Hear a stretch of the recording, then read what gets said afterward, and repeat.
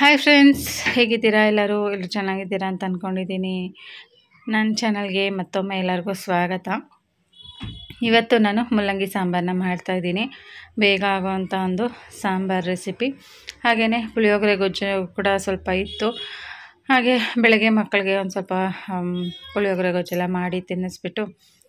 So ಅದಕ್ಕೇ ಇವಾಗ ಮುಲ್ಲಂಗಿ ಸಾಂಬಾರು ಕೂಡ ತುಂಬಾ ಈಸಿಯಾಗಿ ಜಸ್ಟ್ ಬೇಳೆ ಹಾಗೆಯೇ ಈರುಳ್ಳಿ ಮತ್ತು ಟೊಮೆಟೊ, ಹಸಿಮೆಣ್ಸಿನ್ಕಾಯಿ ಇವೆಲ್ಲ ಹಾಕಿ ಅದು ಮುಲ್ಲಂಗಿ ಕೂಡ ಅದಕ್ಕೇ ಕಟ್ ಮಾಡಿ ಹಾಕಿಬಿಟ್ಟಿದೆ. ಇವಾಗ ಅದಕ್ಕೆ ಒಂದು ಎರಡು ವಿಜಲ್ ಕೂಗಿಸ್ಕೊಂಡು ಅದಾದಮೇಲೆ ಇದಕ್ಕೆ ಇವಾಗ ನಾನು ಉಪ್ಪು ಹಾಗೆಯೇ ಸಾಂಬಾರು ಪೌಡರು ಖಾರದ ಪುಡಿ ಇವೆಲ್ಲನೂ ಹಾಕಿ ಚೆನ್ನಾಗಿ ಮಿಕ್ಸ್ ಮಾಡ್ಕೊಂಡು ಮಸಿಯೋದಿಲ್ಲ ಇದನ್ನು. ಜಸ್ಟ್ ಸೌಟಲ್ಲೇ ತಿರುಗಿಸ್ಕೊಡ್ತೀನಿ ಅಷ್ಟೇನೆ ಮಸಿಯೋದಕ್ಕೆ ಹೋಗೋದಿಲ್ಲ. ಸಾಂಬಾರು ಪುಡಿನೂ ಅಷ್ಟೇ ಮನೇಲಿ ಮಾಡಿರೋದೆ, ಅಮ್ಮ ಮಾಡಿಕೊಟ್ಟಿದ್ದು ಸಾಂಬಾರು ಪುಡಿ. ಅದೇನೆ, ಅದು ಏನು ಆತ ಅಂಗಡಿ ಸಾಂಬಾರು ಪುಡಿ ತಿಂದಂಗೆ ಆಗೋದಿಲ್ಲ. ಅಮ್ಮ ಮಾಡಿಕೊಟ್ಟಿರೋ ಸಾಂಬಾರು ಪುಡಿಯಲ್ಲಿ ಸಾಂಬಾರು ಮಾಡಿ ತಿಂದರೆ ಅದೊಂಥರ ಟೇಸ್ಟ್ ತುಂಬಾ ಚೆನ್ನಾಗಿರುತ್ತೆ.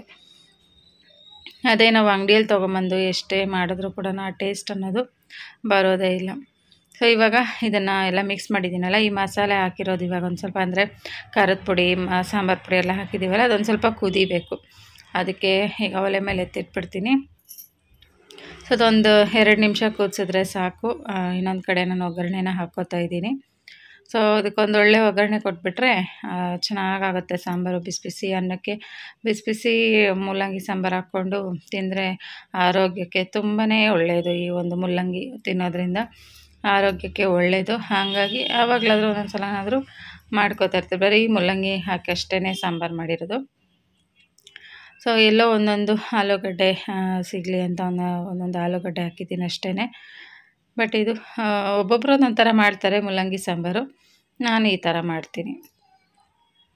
ಬೇಗ ಒಟ್ಟಿನಲ್ಲಿ ಬೇಗ ಆಗಬೇಕು ಅಡುಗೆಗಳು ನನಗೆ. ಹಂಗೆ, ಅದಕ್ಕೋಸ್ಕರ ಯಾವ್ದಾದ್ರು ಬೇಗ ಆಗುತ್ತೋ ನೋಡಿಕೊಂಡು ಮಾಡ್ಕೊಳ್ತೀನಿ. ಸೊ ಇವಾಗ ಒಗ್ಗರಣೆ ಕೂಡ ಹಾಕಿದ್ದಾಯಿತು. ತುಂಬ ಚೆನ್ನಾಗಿ ಒಗ್ಗರಣೆ ಅಂತೂ ಸಖತ್ತಾಗಿ ಆಯಿತು, ಆ ಘಮನೇ ಗೊತ್ತಾಗ್ಬಿಡುತ್ತೆ. ಸಾಂಬಾರು ಎಷ್ಟು ಟೇಸ್ಟಾಗಿರುತ್ತೆ ಅಂತ ಹೇಳ್ಬಿಟ್ಟು ಒಗ್ಗರಣೆ ಘಮದಲ್ಲೇ ಗೊತ್ತಾಗುತ್ತೆ. ಸೊ, ಈಗ ಸಾಂಬಾರೆಲ್ಲನೂ ಚೆನ್ನಾಗಿ ಕುದೀತಾ ಇದೆ. ಒಂದು ಎರಡು ನಿಮಿಷ ಕುದಿಸ್ಕೊಂಡ್ರೆ ಸಾಂಬಾರು ಕೂಡ ರೆಡಿ ಆಗಿಬಿಡತ್ತೆ. ಬಿಸಿ ಬಿಸಿ ಅನ್ನ, ಮುದ್ದೆ ಜೊತೆ ಸರ್ವ್ ಮಾಡಿಕೊಂಡು ತಿನ್ಬೋದು. ಸೂಪರಾಗಿರುತ್ತೆ. ಸೊ, ಈಗ ಬಿಸಿ ಬಿಸಿ ಅನ್ನ ಕೂಡ ರೆಡಿಯಾಗಿದೆ ಸೊ, ಮಕ್ಳಿಗೂ ಒಂದು ಸ್ವಲ್ಪ ಹಾಕ್ಬಿಟ್ಟು ತಿನ್ನಿಸ್ಬಿಡ್ತೀನಿ ಇವಾಗಲೇ ಸೊ, ಇದಾದಮೇಲೆ ಸೊ ಆಮೇಲೆ ಯಾವುದೇ ಥರ ನಾನು ವಿಡಿಯೋ ಮಾಡ್ಕೊಳಕ್ಕಾಗಲಿಲ್ಲ. ಆಮೇಲೆ ಬಟ್ಟೆ ಮಡ್ಚೋದು ಸ್ವಲ್ಪ ಇತ್ತು, ಹಾಗಾಗಿ ನಿಮ್ಮ ಜೊತೆನೂ ಒಂದು ಸ್ವಲ್ಪ ಮಾತಾಡೋದಿತ್ತು. ಅದಕ್ಕೋಸ್ಕರ ಬಟ್ಟೆ ಮಡ್ಚಿಟ್ಕೊಂಡು ಹಾಗೆಯೇ ಮಾತಾಡೋಣ ಅಂತೇಳ್ಬಿಟ್ಟು ವಿಡಿಯೋನ ರೆಕಾರ್ಡ್ ಮಾಡ್ಕೋತಾ ಇದ್ದೆ. ಬಟ್ ಆ್ಯಕ್ಚುಲಿ ಇದು ಪ್ಲ್ಯಾನೇ ಇರಲಿಲ್ಲ ನನಗೆ ಬಟ್ಟೆ ಮಡ್ಚೋದು, ವಿಡಿಯೋ ಮಾಡ್ಕೋಬೇಕು ಅಂತ ಹೇಳ್ಬಿಟ್ಟು ಸೊ ಈಗ ಬಟ್ಟೆ ಎಲ್ಲ ಮಡ್ಚಿಕ್ತಾ ಇದ್ದೀನಿ. ಒಂದು ವಿಡಿಯೋ ಮಾಡೋಣ. ಒಂದು ಸ್ವಲ್ಪ ಹಾಗೆ ಮಾತಾಡೋದು ಇತ್ತು. ಒಂದು ಸ್ವಲ್ಪ ವಿಷಯಗಳನ್ನು ಕೂಡ ಶೇರ್ ಮಾಡೋದಿತ್ತು, ಅದನ್ನು ಕೂಡ ಶೇರ್ ಮಾಡ್ದಂಗೆ ಆಗುತ್ತೆ ಅಂತ ಹೇಳ್ಬಿಟ್ಟು ಹಾಗೆಯೇ ರೆಕಾರ್ಡ್ ಮಾಡ್ಕೋತಾ ಇದ್ದೆ. ಹಾಗೆ ಏನಾಯಿತು ಅಂತಂದರೆ, ನಾನು ವಾಷಿಂಗ್ ಮಿಷಿನಲ್ಲಿ ಬಟ್ಟೆಗಳು ಹಾಕ್ತೀನಲ್ವ, ಆ ಟೈಮಲ್ಲಿ ವಿನಯ್ ಪ್ಯಾಂಟ್ ನೋಡ್ಕೊಂಡಿಲ್ಲ ಅದು ಸ್ಕೂಲ್ ಪ್ಯಾಂಟು. ಅದನ್ನು ನೋಡ್ಕೊಂಡಿಲ್ಲ. ಹಾಗೆಯೇ ಒಗ್ಯಕ್ಕೆ ಯಾಕಂದರೆ ನಾರ್ಮಲಾಗಿ ಅವ್ರ ಪ್ಯಾಂಟ್ಗಳಲ್ಲಿ ಏನೂ ಇಡೋದೇ ಇಲ್ಲ. ನಾ ಯಾವಾಗಲೂ ಅಷ್ಟೇ ಏನೂ ಇಡೋದಿಲ್ಲ. ಅವತ್ತೇನೂ ಗೊತ್ತಿಲ್ಲ ಅರ್ಜೆಂಟ್ಗೆ ಎತ್ತಾಕ್ಬಿಟ್ಟಿದ್ದೀನಿ ಮಿಷಿನಲ್ಲಿ. ಅದು ಏನೂ ಆಗಿಲ್ಲ. ದೇವ್ರ ದಯೆ ಚೆನ್ನಾಗೇ ಇತ್ತು. ಏನು ನೀರು ಬಿದ್ದು ಕೂಡ ಏನೂ ಆಗಿಲ್ಲ. ಲ್ಯಾಮಿನೇಟ್ ಮಾಡಿದ್ವಲ್ಲ. ಹಾಗಾಗಿ ಏನೂ ಆಗಿಲ್ಲ. ಅದು bus pass. So bus pass ಕೂಡ ಏನೂ ಆಗಿಲ್ಲ, ಅದನ್ನೇ ಹೇಳ್ತಾ ಇದ್ದ. ನೋಡಲಿಲ್ಲ, ಹಂಗೆ ಹಾಕ್ಬಿಟ್ಟಿದ್ದೀರಾ ಅಂತ ಹೇಳ್ಬಿಟ್ಟು.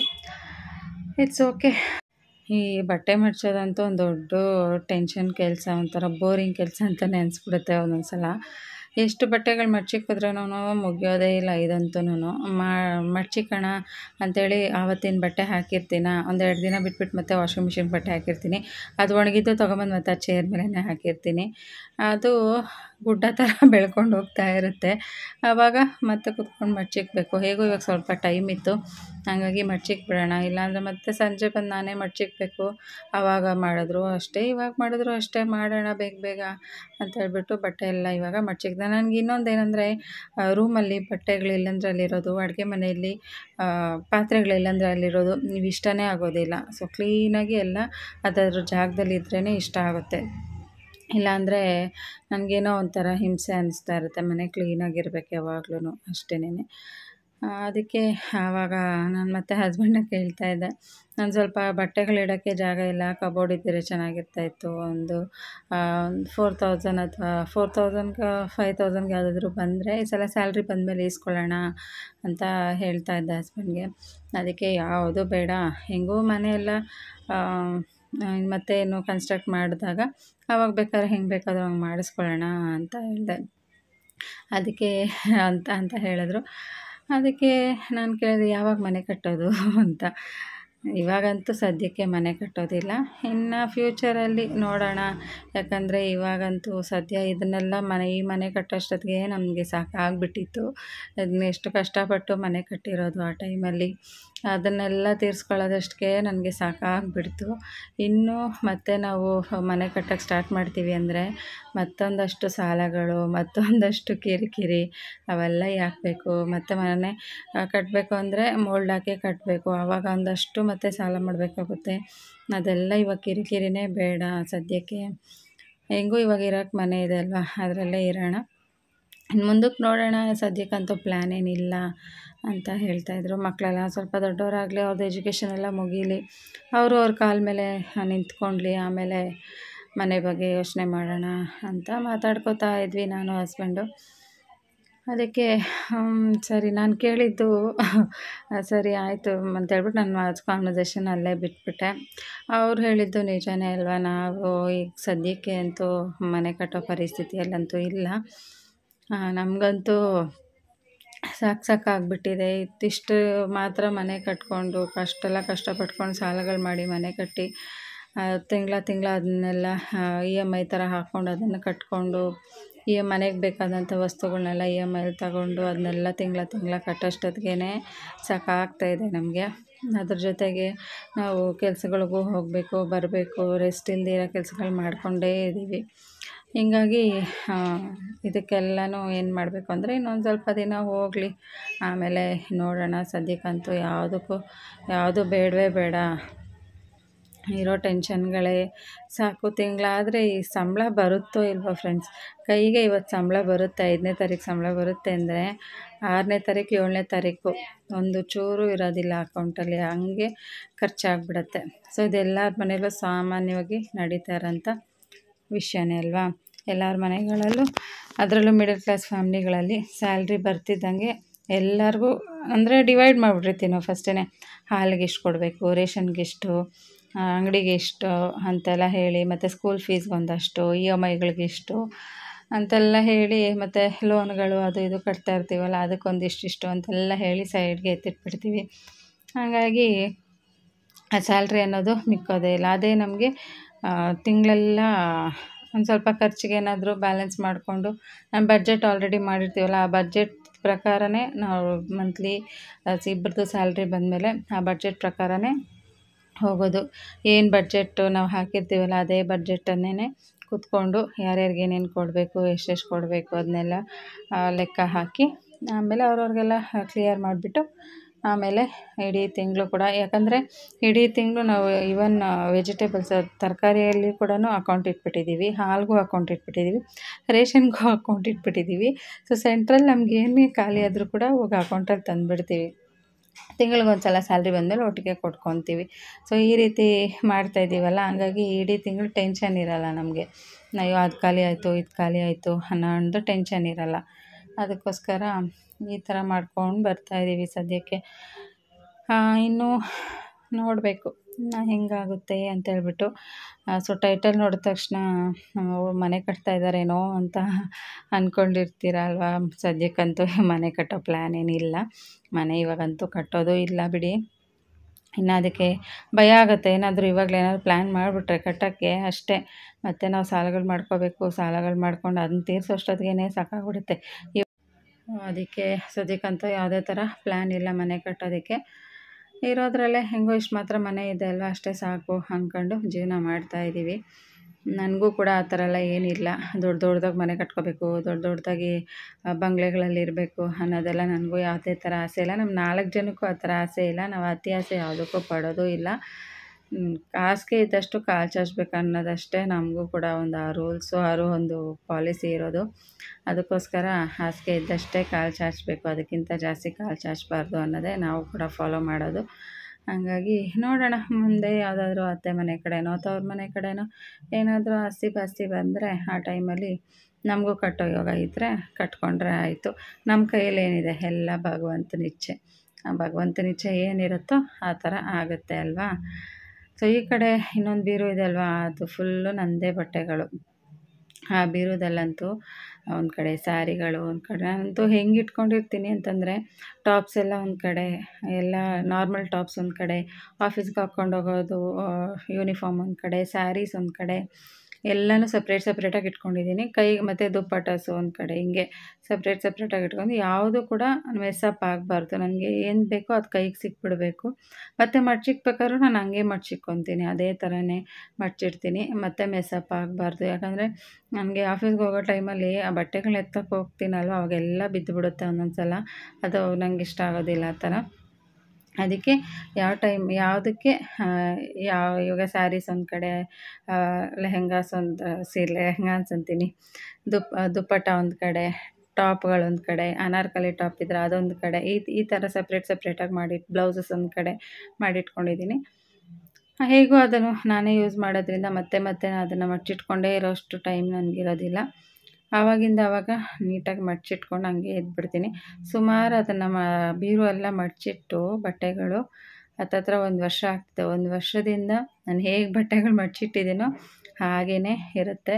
ಆ ಕಡೆ ಈ ಕಡೆ ಅದೇನೂ ಆಗೋದಿಲ್ಲ. ಯಾಕಂದರೆ ಆಲ್ಮೋಸ್ಟ್ ನಾನು ಯೂನಿಫಾರ್ಮಲ್ಲೇ ಇರ್ತೀನಿ. ಇಲ್ಲ ಅಂತಂದರೆ ನೈಟಿಗಳು ಹಾಕೋತೀನಿ. ಅದಕ್ಕೋಸ್ಕರ ಎಲ್ಲ ಬಟ್ಟೆಗಳು ತೆಗೆದು ತೆಗೆದು ಯೂಸ್ ಮಾಡಲ್ವಲ್ಲ? ಹಾಗಾಗಿ ಹಾಗೆ ಇರುತ್ತೆ ಬಟ್ಟೆಗಳೆಲ್ಲ. ನಾನು ಮತ್ತೆ ಮನೆಯಲ್ಲೆಲ್ಲ ಕೆಲಸ ಮುಗಿಸ್ಕೊಂಡು ಕಾಫಿ ಎಲ್ಲ ಕುಡಿದು, ಆಮೇಲೆ ಮತ್ತೆ ಆಫೀಸ್ಗೆ ಹೋಗಿದ್ದೆ. ಆಫೀಸ್ಗೆ ಹೋಗಿ ಮತ್ತೆ ಮನೆಗೆ ಬಂದು ಮನೇಲಿರೋ ಅಂಥ ಮತ್ತೆ ಮಿಕ್ಕಿರೋಂಥ ಕೆಲಸಗಳನ್ನ ಮಾಡಿಕೊಂಡು ಅಡುಗೆ ಕೂಡ ಮಾಡಿದ್ದೆ. ಅಡುಗೆ ಇವತ್ತು ನಾನು ಪೊಂಗಲ್ ಮಾಡಿದ್ದೆ. ತುಂಬಾ ಚೆನ್ನಾಗಿ ಬಂದಿತ್ತು. ಈಸಿ ರೆಸಿಪಿ ಎಲ್ಲ ಪೊಂಗಲು. ಅದಕ್ಕೋಸ್ಕರ ಪೊಂಗಲೇ ಮಾಡಿದೆ. ಬಿಸಿ ಬಿಸಿ ತಿನ್ನೋಣ ಅಂತ ಹೇಳ್ಬಿಟ್ಟು. ಮತ್ತು ಇದು ಮಾಡಬೇಕಾದ್ರೆ ಮೆಣಸು ಹಾಕೋದು ಮರ್ತೋಗ್ಬಿಟ್ಟಿದ್ದೆ ಏನೋ ಮಿಸ್ ಹೊಡಿತಾ ಇದೆ ಅಲ್ವಾ? ನಾನು ವಿಡಿಯೋ ಮಾಡೋವರೆಗೂ ನಂಗೆ ಗೊತ್ತೇ ಆಗಲಿಲ್ಲ. ಮೆಣಸಿಲ್ಲ ಅದರಲ್ಲಿ ಅಂತ ಹೇಳ್ಬಿಟ್ಟು ವಿಡಿಯೋ ಮಾಡಬೇಕಾದ್ರೆ ಆವಾಗ ಅನ್ನಿಸ್ತು. ಅಯ್ಯೋ, ಇದಕ್ಕೆ ಮೆಣಸೇ ಹಾಕಿಲ್ವಲ್ಲ ಇವತ್ತು ನಾನು ಅಂತ. ಬಟ್ ಹಸಿಮೆಣ್ಸಿನ್ಕಾಯಿ ಎಲ್ಲ ಹಾಕಿದ್ನಲ್ಲ, ಖಾರ ಇತ್ತದು. ಅದಕ್ಕೋಸ್ಕರ ಚೆನ್ನಾಗಿತ್ತು. ಹೆಸರುಬೇಳೆ ಎಲ್ಲ ಚೆನ್ನಾಗಿ ಬೆಂದಿತ್ತು. ಅನ್ನ ಕೂಡ ಅಕ್ಕಿನೂ ಅಷ್ಟೇ ಚೆನ್ನಾಗಿ ಬೆಂದಿತ್ತು. ಅದು ಸ್ವಲ್ಪ ಚೆನ್ನಾಗಿ ಟೇಸ್ಟ್ ಕೊಡ್ತಾಯಿತ್ತು ಮೆಣಸು ಹಾಕಿಲ್ಲ ಅಂತ ಏನು ಅಷ್ಟು ಅದಕ್ಕೆ ಡೀಪಾಗಿ ಏನು ಹೋಗಲಿಲ್ಲ. ಬಟ್ ತುಂಬ ಚೆನ್ನಾಗಿತ್ತು. ಬಿಸಿ ಬಿಸಿಯಾಗಿ ತಿನ್ನೋದಕ್ಕೆ ಟೇಸ್ಟಾಗಿ ಚೆನ್ನಾಗಿತ್ತು. ಒಟ್ಟಿನಲ್ಲಿ ಟೇಸ್ಟಿಯಾಗಿ ತಿನ್ನೋದಕ್ಕೆ ಚೆನ್ನಾಗಿದ್ದರೆ ಸಾಕಲ್ವಾ? ಇನ್ನೇನು ಬೇಕು? ಓಕೆ ಫ್ರೆಂಡ್ಸ್ ನೋಡಿ ಹಸಿಮೆಣ್ಸಿನ್ಕಾಯಿ. ಹಸಿಮೆಣ್ಸಿನ್ಕಾಯಿ ಹಾಕಿದ್ನಲ್ಲ, ಅದೇ ಖಾರ ಕರೆಕ್ಟಾಗಿ ಪರ್ಫೆಕ್ಟಾಗಿತ್ತು ಮತ್ತು ಅದಕ್ಕೆ ಇನ್ನೇನು ಎಕ್ಸ್ಟ್ರಾ ಬೇಡವಾಗಿತ್ತು. ಮತ್ತು ಪೊಂಗಲೆಲ್ಲ ತಿಂದುಬಿಟ್ಟು ಒಂದು ವಿಡಿಯೋ ಎಡಿಟ್ ಮಾಡಬೇಕಾಗಿತ್ತು. ವಿಡಿಯೋ ಕೂಡ ಎಡಿಟ್ ಮಾಡ್ತಾಯಿದ್ದೆ ಸೊ ಟ್ರಿಪಲ್ ಫೈವ್ ಮ್ಯಾನಿಫೆಸ್ಟೇಷನ್ದು ಒಂದು ವಿಡಿಯೋ ಮಾಡಿದ್ದೆ. ಯಾರಾದರೂ ನೋಡಿಲ್ಲ ಅಂದರೆ ನೋಡಿ. ಇದ್ರ ಹಿಂದಿನ ಬ್ಲಾಗ್ ಅದು. ಸೊ ಇದು ಹಿಂದಿನ ವಿಡಿಯೋ. ಅದನ್ನೇ ಮಾಡಿರ್ತೀನಿ. ಸೊ ಅದನ್ನು ಕೂಡ ಎಡಿಟ್ ಮಾಡಿದ್ದೆ. ಊಟ ಎಲ್ಲ ಆದಮೇಲೆ ಆಮೇಲೆ ಏನು ಮಾಡಿದೆ ನೋಡಿ. ಹಾಯ್ ಫ್ರೆಂಡ್ಸ್ ಇವಾಗಷ್ಟೇ ಊಟ ಎಲ್ಲ ಮುಗಿಸಿ. ಬಂದು ಇವಾಗ ಕುತ್ಕೊಂಡಿದ್ದೀನಿ. ಒಂದು ಸ್ವಲ್ಪ ವಾಕಿಂಗು ಹೋಗಿ ಬಂದೆ. ಒಂದೆರಡು ರೌಂಡ್ ವಾಕಿಂಗ್ ಹೋಗಿ ಬಂದು ಹಿಂಗೆ ಕುತ್ಕೊಂಡು. ಸೊ ವಿಡಿಯೋನಾದರೂ ಮಾಡೋಣ ಅಂತ ಹೇಳ್ಬಿಟ್ಟು ಮಾಡ್ತಾಯಿದ್ದೀನಿ ಅಯ್ಯೋ, ಇವಾಗಂತೂ ಮಕ್ಕಳು ದೊಡ್ಡವರಾಗಿದ್ದು ಸಾಕು. ನನ್ನ ಆಡ್ಕೊಳ್ಳೋದು ಸಾಕಿವರು. ಏನಾದರೂ ಹಂಗೆ ಹಿಂಗೆ ಮಾತಾಡೋಂಗಿಲ್ಲ. ಅಥವಾ ಏನಾದರೂ ಹಂಗೆ ಹಿಂಗೆ ಆಡೋಂಗಿಲ್ಲ. ಬಂದು ಗೋಳಿಕೊಂತ ಇರ್ತಾರೆ. ಏನಾದರೂ ಒಂದು ಹೇಳ್ತಾ ಇರ್ತಾರೆ. ಸೊ ಏನು ಮಾಡೋದಕ್ಕೆ ಬಿಡೋದಿಲ್ಲ. ಒಂದೊಂದು ಸಲ ವಿಡಿಯೋಸು ಮಾಡೋದಕ್ಕೆ ಬಿಡೋದಿಲ್ಲ. ಹಂಗೆ ರೇಗಿಸ್ತಾ ಇರ್ತಾರೆ. ಏನಾದರೂ ಒಂದು ತೀಟ್ಲೆ ಮಾಡ್ತಾ ಇರ್ತಾರೆ. ಒಬ್ಬರು ತಪ್ಪಿದ್ರೆ ಒಬ್ಬರು ಸೊ ಈಗ ನೋಡಿ ವಿನಯ್ ಇಷ್ಟೊತ್ತು ಗಲಾಟೆ ಮಾಡ್ಕೊಂಡೋದ ಈಗ ವಿಜಯ್ ಬಂದ. ಹಿಂಗೆ ಏನಾದರೂ ಒಂದು ತರಲೆ ತೀಟೆಗಳು ಮಾಡ್ತಾ ಇರ್ತಾರೆ ಹುಡುಗರು. ಓಕೆ ಇವಾಗಷ್ಟೇ ಊಟ ಎಲ್ಲ ಮುಗಿಸಿ ಬಂದು ಕೂತಿದ್ದೀನಿ. ಫುಲ್ಲು ನಂಗೆ ಬೇಡ ಹೋಗಮ್ಮ. ನನಗಂತೂ ಫುಲ್ ತಲೆ ನೋವ್ತಾ ಇದೆ.